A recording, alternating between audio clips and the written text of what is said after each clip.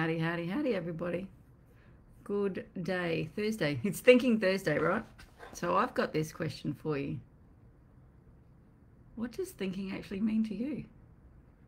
What do you regard as thinking? I truly believe that we were not taught how to think. Well, I was never taught how to think the way that I think now.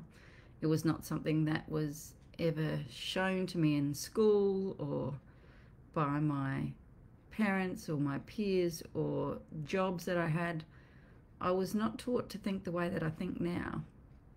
So that's my question for you today. What do you what do you regard as thinking? And just put your put your like whatever you think it is in the comments. Say hi if you're here. Um, maybe we can put that person, you know how that's got that jumbled up sort of head as a emoji to put in there today because a lot of us think that just putting out a bit of mental activity or just saying what's on your mind is actually thinking. It's not.